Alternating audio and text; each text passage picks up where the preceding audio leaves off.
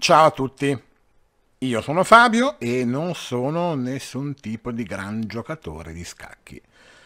Non insegno niente a nessuno perché devo solamente imparare, ma veramente tanto. Io così mi capita di giocare in rete e a questo fantastico gioco che io comincio veramente ad apprezzare tantissimo perché forse è l'unico, ma magari non l'unico, però comunque uno dei pochissimi per il quale il fattore fortuna non influisce e qua non c'è un tiro di dadi, non c'è niente, un rimbalzo di una palla, no, no, no, no, no, no, no assolutamente. Qua l'unica fortuna che puoi avere è che l'avversario sbagli più di te, basta, tutto lì. E io gioco senza aver studiato niente, semplicemente giocando qua in, online. E uno, due, tre partite al giorno e mi accorgo che uh, ce ne vuole prima che diventi un giocatore decente. Però allora, perché questo video? Perché voglio semplicemente dirvi una cosa, eh, una lezione che io vorrei che capissero tutti. Quando si gioca online a scacchi, essere un pochettino gentili, educati, eh, un po' di fair play non guasta. Non è un gioco come appunto il calcio. Non è nemmeno un gioco come quelli sparatutto dove i classici bimbi minchia si insultano. E soprattutto non stiate spacconi Ecco, assolutamente. Perché a volte si rischia di fare veramente delle brutte figure. Vi faccio alcuni esempi, ve ne faccio uno, va, vi faccio vedere una partita che ho giocato di recente dove il tipo, l'avversario, ha la partita in mano, ce l'ho in mano, faccio quello che voglio di questo tipo qua. E poi invece stranamente sono riuscito a vincere. E vi ripeto, io non insegno niente a nessuno. Date un po' un'occhiata però come si è svolta questa partita, magari ci si fa anche due risate. Allora io avevo il nero. Il bianco, l'avversario si chiamava eh, Good Luck for You. Mm, ma anche per lui un po' di fortuna ci vorrebbe. Allora, apertura con E4, al quale io rispondo ovviamente con E5. Questo mi mette il cavallo e io ormai ho l'apertura coppia e incolla invece che mettere il cavallo eh, in eh, B8, metterlo in C6, io semplicemente avanzo il pedone, ok? Avanzo il pedone di D7 in D6. Vediamo lui cosa mi risponde. Mi risponde con l'altro cavallo. Solitamente, nelle partite che ho giocato col nero, sempre c'è l'arfiere bianco che mi si posiziona quasi sempre in B5. A quel punto io invece tiro sul cavallo, il pedone in H6. Comunque, ha messo il cavallo. Io cosa faccio? Anche io metto il cavallo, che almeno non si sa mai se quando mi va a finire in D5 facciamo un po' di scambi. Eccolo qua, il famoso, il famoso alfiere. Non me l'ha messo eh, in, eh, in B5, ma l'ha messo in eh, in C4. Cosa vuole questo qua? Muovere il cavallo e poi cercare di farmi perdere almeno un pezzo tra torre e regina. Io cosa faccio? E tiro su col mio pedone famoso. Premetto, io non so giocare, probabilmente faccio delle cavolate mostruose. Non fustigatemi perché lo so, lo so da solo che sono scarso. Vediamo come va avanti la partita. Avanza il pedone. Io intanto faccio avanzare il pedone perché ora non mi ricordo su quale sito, avevo letto di una uh, apertura che è fatta quasi a livello meccanico tutto sommato, senza aver studiato, che però rendeva molto. E comunque per sicurezza io mi alzo il pedone, anche perché perlomeno il cavallo non me lo posiziona in B6, in B5 a rompermi le scatole. Ecco qua, abbiamo l'alfiere. Io muovo il cavallo, arrocco corto del bianco. E per me ce n'è ancora un po' prima da arroccare. Anche se poi, diciamolo tutto, l'arrocco a volte a lasciare il re da una parte ma ha dato fregatura, perché non sono un gran giocatore. E quindi a volte ci penso un po' due volte. Sbaglierò, eh? Comunque. Tanto gli blocco il cavallo. Lui a quel punto mette il cavallo direttamente lì dove dicevo io in eh, D5 e io me lo pappo Qua l'altro mio cavallo. Naturalmente lui cosa fa? Ovviamente con l'alfiere lo prende. Io sposto la regina. dico, facciamo un pochettino l'arrocco lungo. Lui sposta di uno, io tanto avrò per le scatole dico aspetta un po', portiamo sul cavallo. Possono sia prenderlo sia l'alfiere che il cavallo, ma il cavallo sicuramente non lo muove, quindi mi dà fastidio col pedone.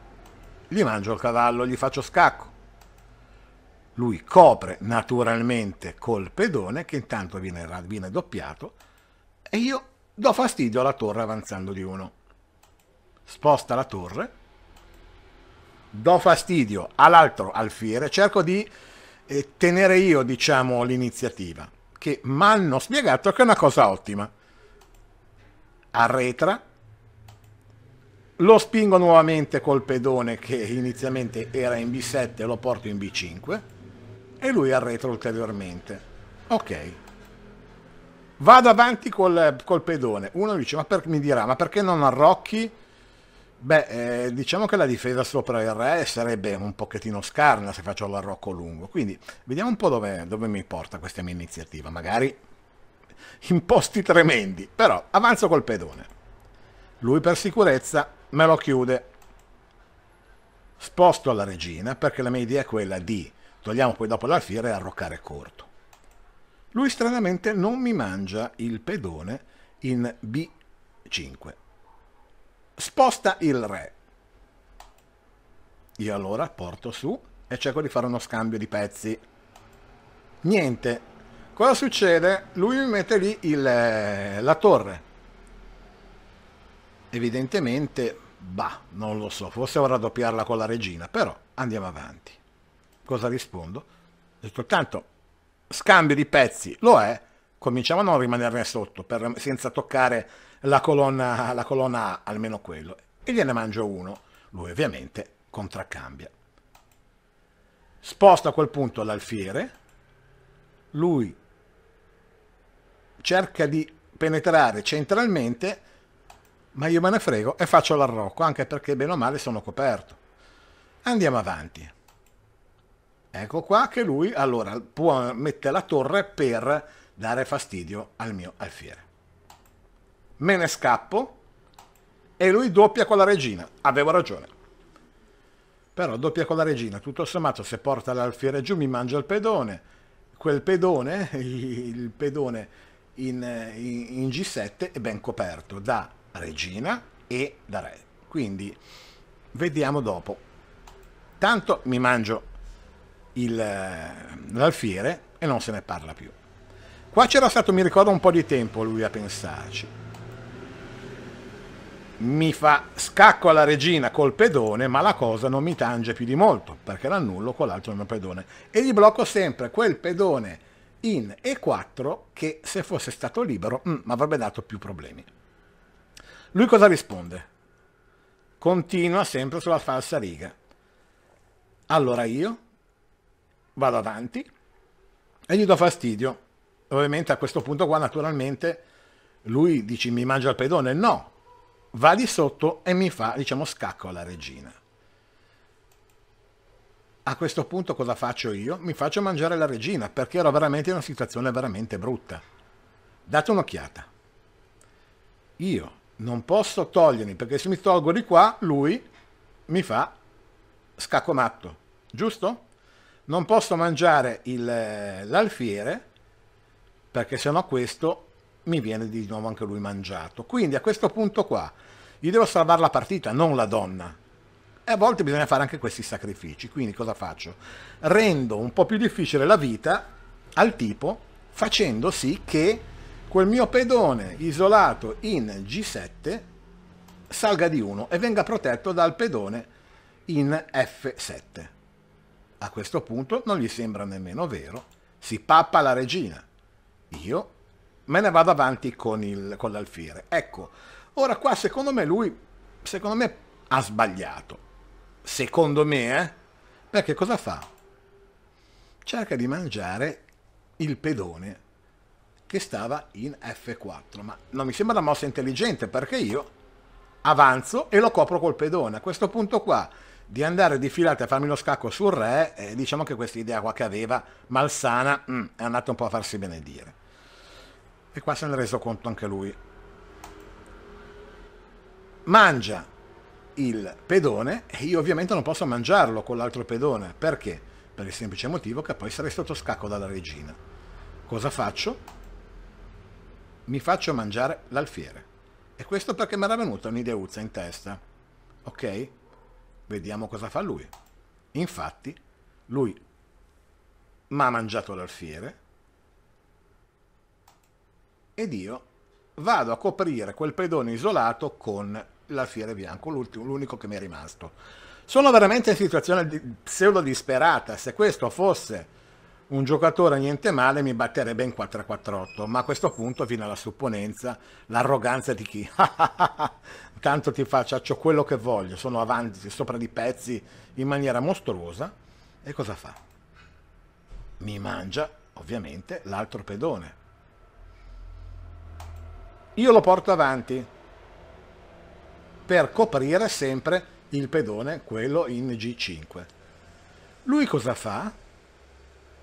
Fa la più grande delle cavolate della sua vita, perché in pratica mi mette la regina lì a portata di alfiere. E eh, io che sono, tonto? Me la magno. Era troppo sicuro, era, non lo so, forse voleva poi mettere la regina probabilmente in H5. E io mi sono pappato la regina. Qua ha avuto un bel tracollo il tipo, però cosa fa? Eh beh, allora a questo punto ti schiaccio io con l'altra torre che gli è rimasta. Gli sono messe due torri anche a lui. A questo punto io cosa faccio? Gli faccio scacco al re, mettendo l'alfiere nella sua bella casella F3. Lui eh, non ha molte mosse da fare a questo punto.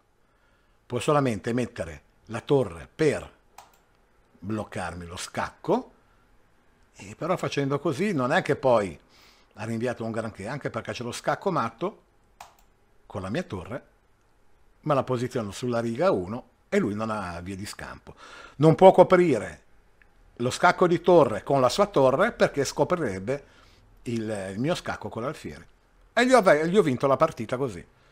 Questo comunque non è stato il più arrogante che io abbia mai incontrato. Eh? Ah no, no, no, no. Ne ho incontrati veramente di peggio. Però diciamo che è magari una di quelle partite, uno addirittura che, sentendosi il re della tastiera, aveva spinto il suo re, eh, mi sembra sulla colonna qua, sulla riga 4 o la riga 5, venendomi incontro, tappandosi da tutte le parti tranne da una parte dove poi è lì che l'ho colpito. Ripeto, non voglio fare la ruota con un pavone, è stata solamente in questo caso fortuna perché il tipo, se avesse giocato in maniera normale, col cervello e non volendo fare il gradasso, avrebbe vinto alla stragrande. Ma a un certo punto era talmente sicuro di aver davanti un cretino che mi ha regalato la regina. E a quel punto la partita era, era finita. Insomma, quindi mai perdere la concentrazione e soprattutto mai fare gli spacconi. Ok? La prossima volta vi farò vedere una delle mie partite, ripeto, non per insegnare a nessuno, ma per farci due risate e riflettere un po'. Ok? Ciao a tutti e grazie se avete visto questo, questo video. Mm, il perché lo sapete, vero? Che non sono assolutamente un giocatore serio e buono? Spero prima o poi di diventarlo, chi lo sa. Ciao a tutti!